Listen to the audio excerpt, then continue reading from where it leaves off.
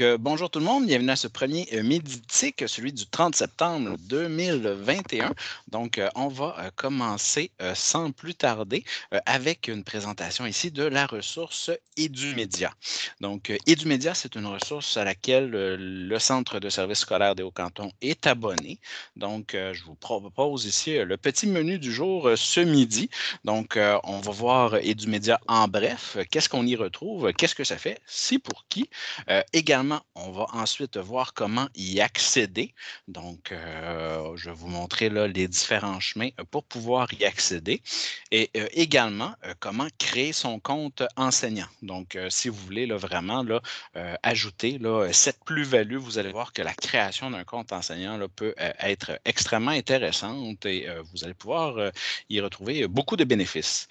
ensuite, je vais vous montrer comment trouver des ressources, s'organiser dans les favoris nous allons un peu comment fonctionnent les animations euh, dans EduMedia, euh, également euh, les questionnaires formatifs, comment partager une ressource aux élèves, donc que nous avons retrouvé dans EduMedia. Également, comment partager plusieurs ressources, peut-être avec un code de, classe. Et finalement, toujours là, dans une optique où peut-être nous utilisons là, Google Classroom et tout, ben, vous pouvez comme ça là, créer une capsule d'une durée maximale de 5 minutes là, et la partager. Donc, si vous voulez là, avoir des approches un peu de pédagogie inversée, vous allez voir, c'est extrêmement intéressant. Donc, en bref, ici. Euh, EduMedia, c'est quoi? Ben, euh, grosso modo, là, euh, ça se trouve être une banque d'animation interactive. Vous allez voir, elle touche beaucoup de disciplines, donc tant les mathématiques que les sciences, vous allez voir la biologie, l'univers social. Donc, on a, on a quand même plusieurs éléments et tout ça là, est fait, là, est aligné et organisé également là, en vertu du programme donc et en vertu des cycles. on y retrouve également de courtes vidéos. D'ordinaire, elles ne dépassent pas deux minutes, c'est autour de ça. vous allez également y retrouver quelques quelques questionnaires formatifs euh, qui vont permettre aux élèves comme ça de faire un, état de leur, euh, de leur connaissance ou de leur compréhension. Vous allez retrouver également euh, des documents d'accompagnement. Euh, donc, on va voir là, comment euh, ceux-ci sont identifiés. et du média, il y a des ressources vraiment là, pour tous les cycles. Donc, que ce soit là, autant du côté du primaire que du côté du secondaire, là, nécessairement, vous allez y retrouver là, des ressources intéressantes. Et comme je vous dis, vous allez pouvoir les partager. Donc, d'ordinaire, dans le passé, et du média était surtout, là, on va voir les animations, les ressources, étaient surtout conçu pour une utilisation au TNI en avant de la classe. Donc, euh, vous pouvez encore très bien le faire euh, vraiment pour avoir des représentations visuelles, euh, peut-être de notions, de concepts. c'est vraiment là, très intéressant et la plupart de ces représentations-là, ça se trouve être des animations, donc elles sont interactives. Donc, euh, on peut euh, jouer, on peut manipuler euh, et illustrer les différents concepts, que ce soit au niveau de l'anatomie, que ce soit au niveau du cycle de l'eau. Donc, vous allez voir là, vraiment là, les animations là, sont, très, sont très vastes et abordent beaucoup de sujets. Même chose pour plan cartésien, figures géométriques et tout. Là. Donc, des fois, là, au lieu de chercher sur le web ou avoir à le dessiner nous-mêmes sur le TNI, pourquoi pas là, justement là, offrir aux élèves une belle représentation visuelle euh, avec laquelle nous et également euh, les élèves peuvent interagir. Donc euh, voilà.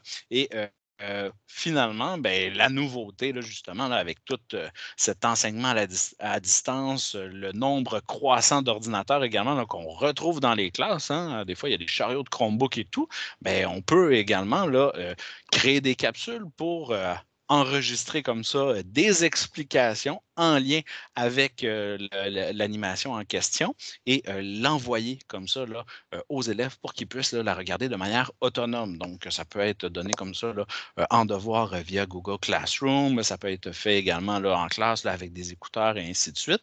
Donc, vous allez voir, c'est extrêmement intéressant à ce niveau. Donc, les possibilités sont multiples et les façons d'utiliser cette ressource le font également. Donc, euh, de passer à la période de questions, je vais partager mon écran, donc sans plus tarder, pour vous montrer là un peu la ressource ici et du média. Donc, ce ne sera pas bien long. J'effectue mon partage d'écran à l'instant. Donc, nous y voilà. Rapidement, hein, je vous présente le nouveau site que j'ai mis également dans le clavardage euh, du récit du CSS des Hauts-Cantons. Donc, euh, tout comme notre Miditique aujourd'hui, je vous inviterai à regarder tout en bas, vous allez retrouver comme ça le, calendrier des formations et des midis. Donc, vous allez pouvoir euh, y accéder. vous voyez ici Miditique sur EduMedia et regarder également l'horaire des prochains Miditiques. Donc, voilà, mon placement ici est effectué. Donc, euh, on va y aller euh, sans plus tarder. Ce ne sera pas bien. Je vais essayer de me replacer. Donc, comment accéder à la ressource? Pour l'instant, il y a deux façons euh, d'accéder à la ressource. Euh, il va y en avoir comme ça, probablement une troisième, vous allez voir. Je vais essayer de l'intégrer ici à ce nouveau euh, site web, l'accès aux ressources. Donc, ça devrait ici, dans la pastille ressources numériques. Mais pour l'instant, le chemin valide, c'est vraiment de passer à travers et du groupe. Donc, vous allez sur le portail cshc.qc.ca, vous vous identifiez, donc vous vous connectez de la sorte. Et vous allez comme ça là, cliquer sur ressources éducatives et ensuite ressources numériques. Donc, ça, c'est un premier chemin que vous pouvez prendre. On va laisser le temps là ici de se télécharger. Voilà. OK. Donc, on a nos deux boutons ici et du média, soit celui du secondaire, soit celui du primaire. Donc, si vous cliquez sur l'un des deux boutons, automatiquement, vous allez être connecté ici comme étant un utilisateur là, euh, du centre de services scolaire des Hauts-Cantons. Donc, euh, disons ici, je vais cliquer ici sur primaire et euh, EduMedia s'ouvrira et vous voyez, là, vous êtes identifié ici en tant que membre ayant droit ici là, à la connexion et faisant partie du CSS des Hauts-Cantons. Donc, de la sorte, là, vous avez là, accès là, à toutes les animations. Donc, ça, c'est une euh, première façon de faire. Euh, c'est la façon dont je vous recommande d'abord avant de créer euh, votre compte prof, OK? Donc, de votre espace prof. Là. Donc, d'abord, là, je vous conseille de faire ici là, via cette connexion. vous allez là, comme ça là, pouvoir vous y connecter également là, de la maison. C'est vraiment le chemin à prendre.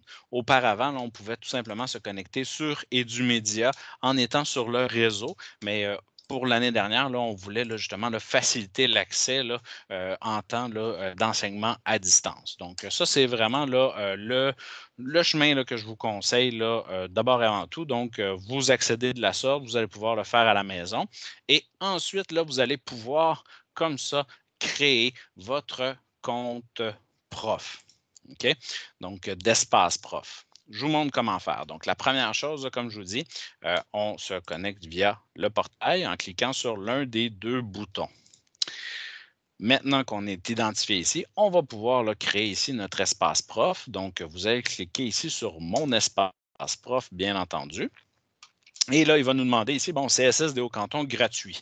Ce n'est pas gratuit. Dans le fond, c'est le centre de service ici, euh, avec le budget des ressources numériques, qui a procédé euh, à l'abonnement. Donc, euh, une décision ici concertée là, où direction et tout là, participe à la prise de décision donc, au sein du comité éthique. Donc, ici, pour profiter de, de cet outil, créez-vous un espace prof gratuitement. Donc, vous y avez droit là, une fois que vous êtes identifié, donc une fois que vous avez passé par le portail.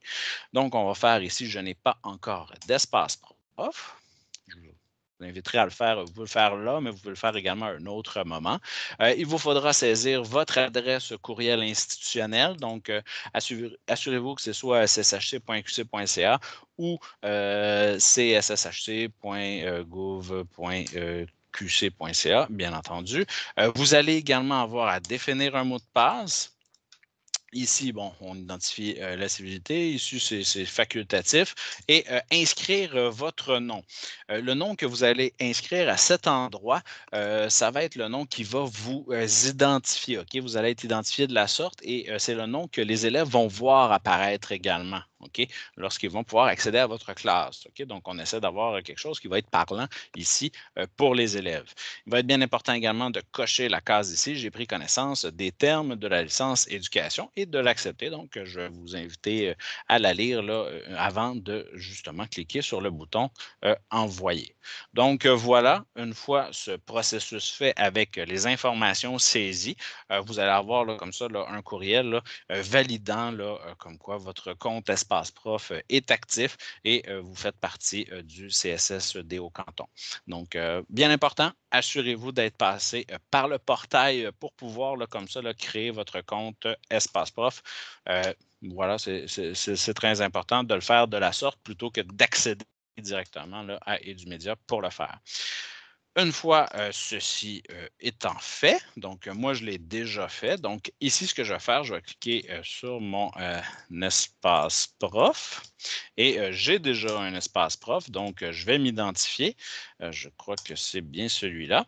Et vous allez pouvoir vous identifier. là, je le fais à cet endroit, mais Également, là, vous auriez pu tout simplement là, euh, cliquer sur euh, EduMedia, ce ne sera pas bien long. Voilà. Donc, euh, d'ordinaire, si vous passez là, par Google, maintenant, vous n'allez plus avoir besoin de passer via le portail, OK, pour pouvoir vous connecter, étant donné que vous êtes connecté une première fois sur euh, euh, le portail et que vous avez créé comme ça votre compte euh, sur Espace Prof. Donc, on va cliquer ici sur Connexion. Il va nous demander de saisir là, justement le courriel en question, le mot de passe que nous avons défini. Et comme ça, on va cliquer sur Envoyer. Et voilà, on voit, on n'a plus là, le CSS des Hauts-Cantons, mais bel et bien mon compte d'enseignant ici, là, personnel. Donc là, ça commence à être extrêmement euh, intéressant. Donc, euh, ça ne sera pas bien long, je vais juste me resituer un peu euh, dans mon plan de formation. Donc, on a vu ici comment y accéder, on a vu également comment créer son compte. Maintenant, on va voir qu'est-ce qu'on y trouve, donc comment trouve-t-on des ressources? Donc, la première des choses, comme vous le constatez, on a déjà une division secondaire primaire. OK? Donc, euh, on a ici là, une division qui a été faite là, par des grands thèmes. Donc, euh, du côté du primaire, le corps humain, la santé, animaux végétaux, ciel et la terre, environnement, etc. Euh, on a également des éléments ici du côté du secondaire, donc sciences et vie, environnement, physique, chimie. Donc, vous voyez, là, on est beaucoup là, ici en ce qui a trait aux sciences. Et souvent, on manque de ressources là, dans ces éléments-là. Pouvez également là, y aller là, par programme. Ça, ça peut être extrêmement intéressant.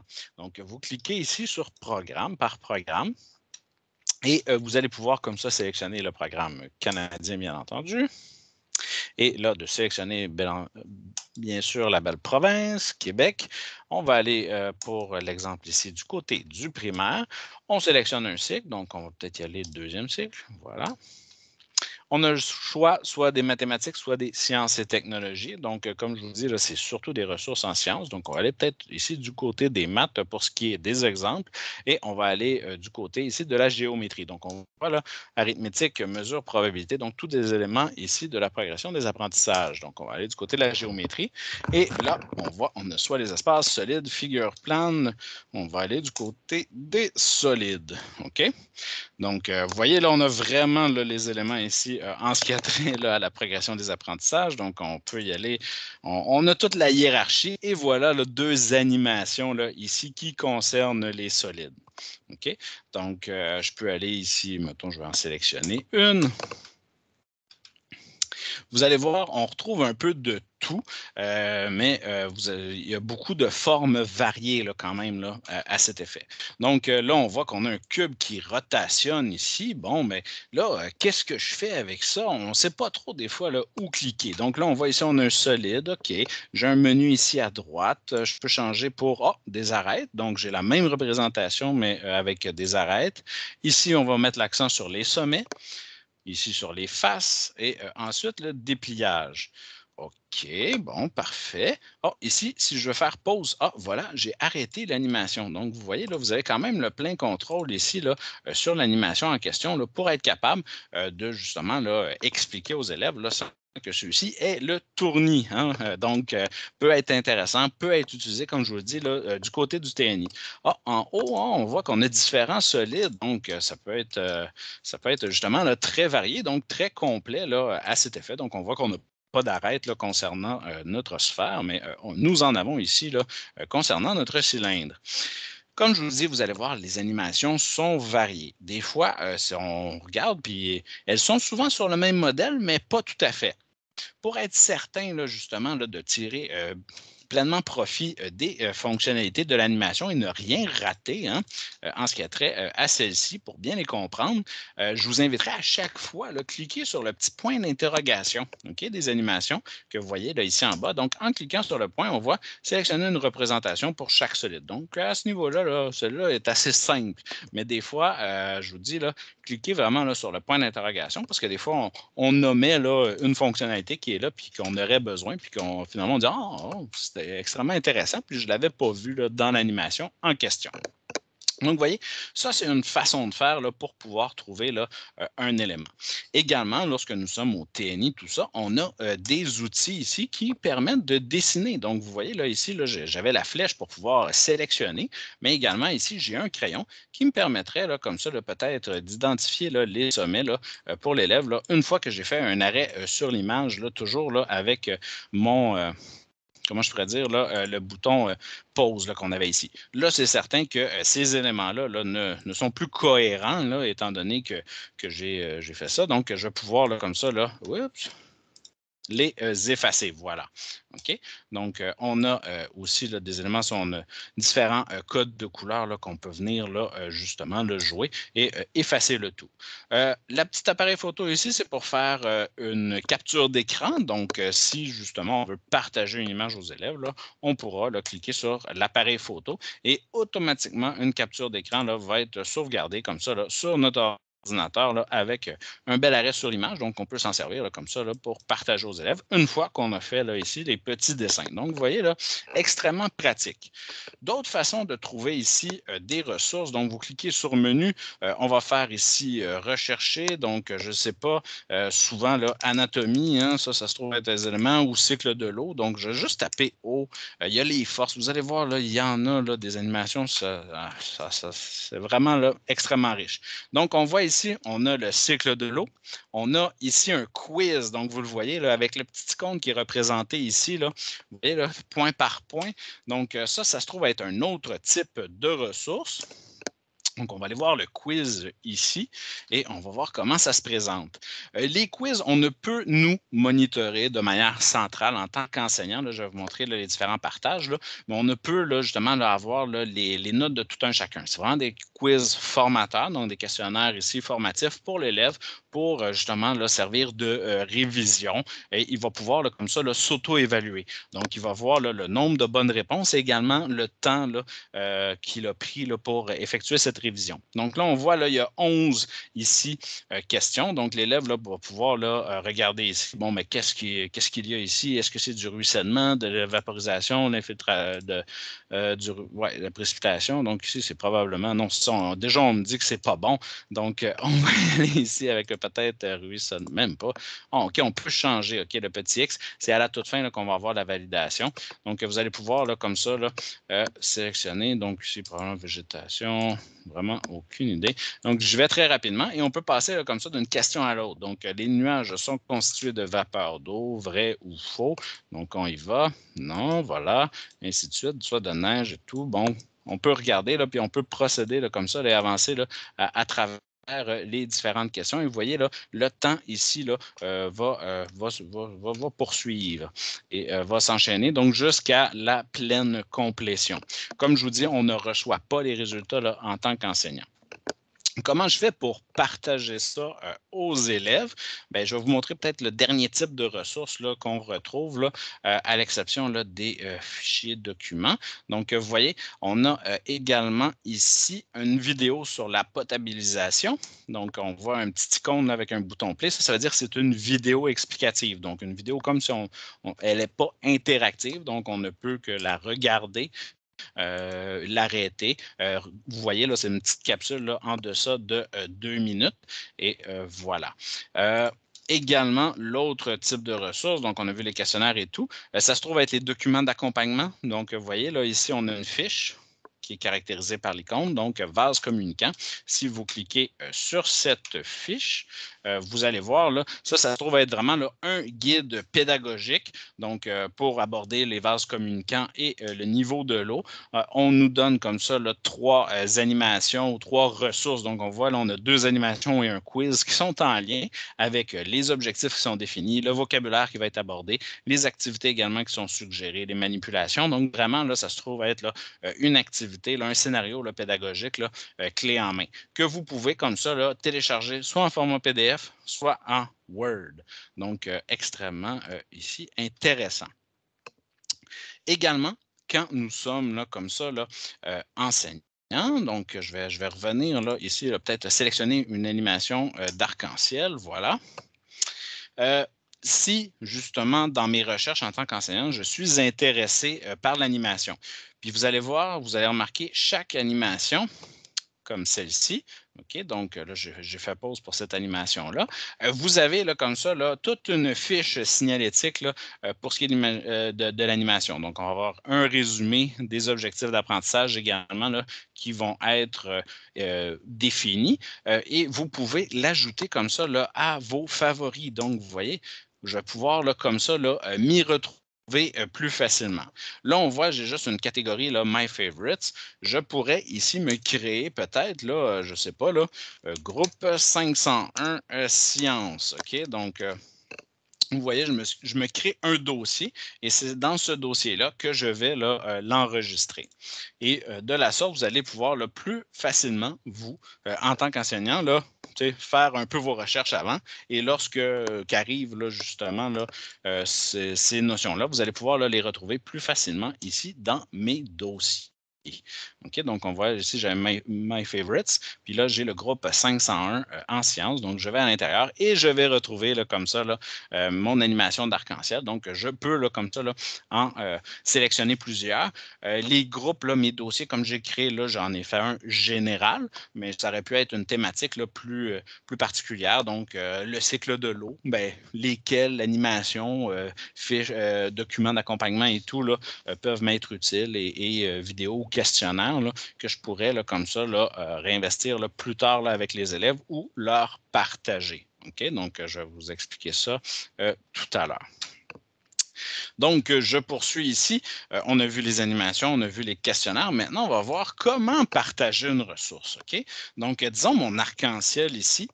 Mes élèves là, ont des Chromebooks dans les mains. Hein. je ne veux pas en faire nécessairement là, une utilisation euh, ici euh, au TNI. Euh, j'aimerais qu'ils puissent la regarder de manière autonome. je pourrais également, donc vous voyez là, on a cette ressource-là. Comment je fais pour partager cette ressource? Bien, vous voyez, une fois qu'on est dans l'animation ici, je peux cliquer sur Partager. OK? Donc, vous allez comme ça, avoir un lien authentifié. Donc, ça, ça veut dire que euh, toute personne qui reçoit ce lien-là, donc je vais le copier à l'instant, disons, euh, je pourrais euh, venir même le déposer ici dans la formation. Donc, je vais le mettre ici dans le chat. vous voyez un peu le lien et automatiquement, en cliquant sur le lien, les élèves là, vont pouvoir, là, comme ça, accéder directement. Donc, ils n'ont pas besoin, comme vous, de s'authentifier en tant qu'enseignant. Ils n'ont pas besoin de passer par le portail. Donc, vous leur envoyez ça et ils vont avoir accès comme ça euh, à la ressource sans besoin d'authentification. Donc, euh, si vous utilisez un Google Classroom, vous allez pouvoir comme ça euh, partager votre lien de la sorte. Donc, extrêmement pratique ici, là, cette option de partage.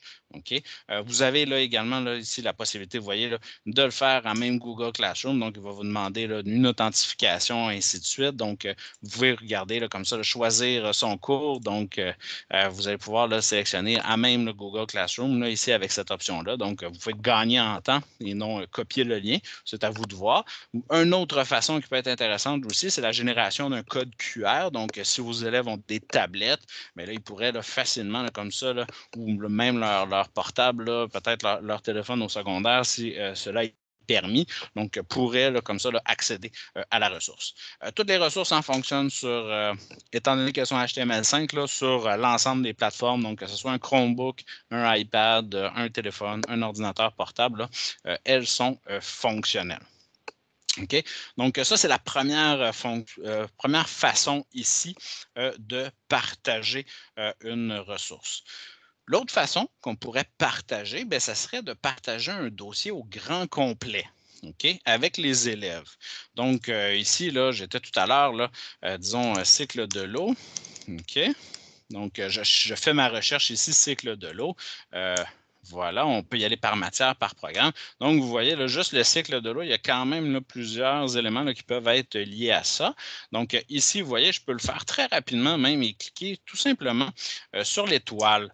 Hein. Et là, ah, est-ce que je le mets en groupe 501? Ouais, je pourrais me créer même un nouveau groupe. Donc, euh, cycle de l'eau. Donc, un nouveau dossier ici, cycle de l'eau. Je fais OK. Celui-ci est créé. Donc voilà, je l'ai ajouté euh, à l'intérieur. Le château d'eau, on va le mettre également là-dedans. Cycle de l'eau. Euh, également le quiz. Hein. J'ai un peu de difficulté à effectuer tout à l'heure. La vidéo également qui peut me servir. Peut-être le cycle de vie d'une plante, la potabilisation. Voilà. OK. Donc, on a tous ces éléments-là que je suis en train d'ajouter euh, à mon dossier. Donc, je l'ajoute ici au favori, cycle de l'eau. Donc, vous voyez là, mon dossier euh, ici, quand je m'en vais dans mes dossiers, va être euh, très bien garni. Hein, ici, j'ai jusqu'à cinq éléments là, pour ce qui est de mon dossier sur le cycle de l'eau. Et disons que, justement, ben, j'ai un tout ici qui est cohérent avec une séquence, j'ai donné mon plan de travail. Je pourrais même communiquer ici les consignes. Vous voyez le, petit, le, petit épingle. Donc, on peut ajouter des consignes. Donc, on pourrait dire euh, visionner, regarder la capsule ou l'animation. Puis après, répondre au questionnaire. vous voyez là, vous pouvez comme ça écrire euh, vos consignes. pour euh, valider. Euh, autoriser la capture vidéo pour les élèves, ben, ça, on va, je vais y revenir tout à l'heure, si vous voulez qu'ils fassent des captures, des captures vidéo. Comme ça, ils pourraient également là, communiquer leur compréhension. Et voilà, OK? Donc, ces éléments-là sont là. Maintenant, comment je fais là, pour pouvoir partager ça? On a vu qu'on est capable de partager le lien vers une ressource unique, mais si on a plusieurs ressources comme ça, mais on va cliquer ici sur Partager et vous voyez, il va vous donner comme ça un code de classe. Donc, un peu comme Google Classroom. Donc, vous pourriez prendre ces informations-là, les communiquer aux élèves ou également, vous voyez, partager le lien. Donc, c'est deux possibilités. Si vous utilisez Google Classroom, vous pourriez aller là, comme ça, là, euh, partager dans votre Google Classroom le lien ici vers ce répertoire de ressources ou tout simplement copier euh, le code de classe. Et euh, ensuite, ce que les élèves vont faire, c'est que euh, lorsqu'ils vont ouvrir EduMedia, OK, ils vont ici avoir la possibilité de sélectionner, de saisir un code de classe et vont venir là, tout simplement là, saisir le code de classe que vous avez et automatiquement, comme ça, vont accéder à votre répertoire, toujours sans besoin d'authentification aucun, et vont pouvoir, là, comme ça, là, avoir les consignes et le faire de manière autonome. Comme je vous dis, c'est à sens unique. Donc, c'est l'enseignant qui envoie euh, ces éléments-là. On n'aura pas comme ça les résultats des quiz des élèves, étant donné qu'il n'y a pas d'authentification. Mais quand même, euh, ça peut être euh, très intéressant. Donc, par la suite, on peut leur demander, en tant qu'enseignant, une production dans laquelle tout ça va être résumé. Ou, comme je vous dis, les élèves pourraient également s'enregistrer, faire une capsule et nous la transmettre. Donc, ça, ça peut être intéressant si nous avions cliqué ici sur l'autorisation pour les élèves de faire une capture vidéo. Justement, j'arrête pas d'en parler depuis tantôt, donc on va voir là, comment euh, faire une capture euh, vidéo. Donc, euh, on a vu ici comment partager une ressource. On a vu également comment partager avec le code de classe. Donc, comme je viens de vous montrer, donc un ensemble de ressources. Maintenant, on va voir le dernier élément ici, qui est la création euh, de capsules vidéo. Donc, euh, disons que je suis un enseignant, je dois expliquer le euh, cycle de l'eau. Je clique sur celui-ci. Et là, on voit, là, on a cette animation-là. OK, on a des commentaires ici. On se rappelle, hein, on peut toujours cliquer ici. Donc, cliquer sur le bouton commentaire pour afficher d'autres informations sur l'eau. Donc, il nous dit là, OK, voilà. Donc, je peux faire l'état de l'eau, tout y est de manière ici statique. Le temps de résidence également, les volumes d'eau. Donc, on voit là, c'est extrêmement euh, détaillé. Si je veux effectuer euh, une animation au TNI, je vais utiliser hein, les outils a ici. Mais si je veux faire comme ça une capture d'écran, donc euh, où je vais m'enregistrer, on peut également se filmer, un peu comme je fais là, euh, et envoyer cette vidéo-là clé en main que l'élève va pouvoir euh, regarder de manière autonome. On a tout simplement besoin de cliquer ici sur Capture vidéo. Donc, je clique sur l'outil ici Capture vidéo et voilà, on arrive là ici avec notre, notre possibilité d'enregistrement. Donc, je vais cliquer sur celle-ci. On voit on a une durée maximum de 5 minutes. Donc là, l'enregistrement, vous, vous allez probablement avoir à cliquer ici euh, sur autoriser le micro et autoriser la caméra à l'intérieur de votre navigateur. Ça va être très important ici de le faire, sinon euh, il n'y aura pas d'enregistrement. Également, là, moi, ma caméra est utilisée, mais vous auriez, là, comme ça, là, je ne l'avais pas, l'option. Euh, là, on va faire supprimer, je vais, je vais reprendre, ça ne sera pas bien long. Vous auriez l'option ici d'un autre bouton qui va être celui de votre webcam. Donc, vous allez pouvoir vous voir également, vous montrer à l'élève en miniature, euh, faire les explications, toujours à partir soit de l'animation, soit de, l'animation euh, arrêtée sur l'image. Donc, c'est vous qui voyez. Je reprends l'enregistrement. Donc, je m'enregistre ici. 3, 2, 1, notre petit décompte.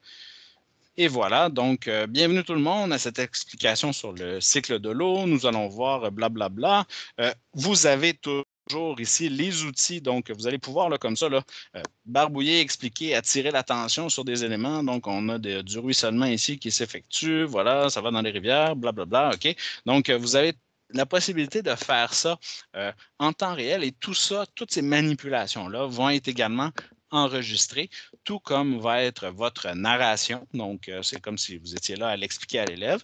Et comme je vous dis, euh, vous allez pouvoir également euh, ouvrir votre caméra si tel est votre souhait. Donc, une fois qu'on a terminé, on a toujours ici un indicateur temporel de la durée de l'enregistrement. on va cliquer ici. Donc, disons que je suis satisfait depuis tantôt, là, il enregistre. On va faire stop. Et là, si on est vraiment insatisfait et qu'on veut reprendre immédiatement, on va faire supprimer. Euh, sinon, on va faire le pouce et on va faire enregistrer.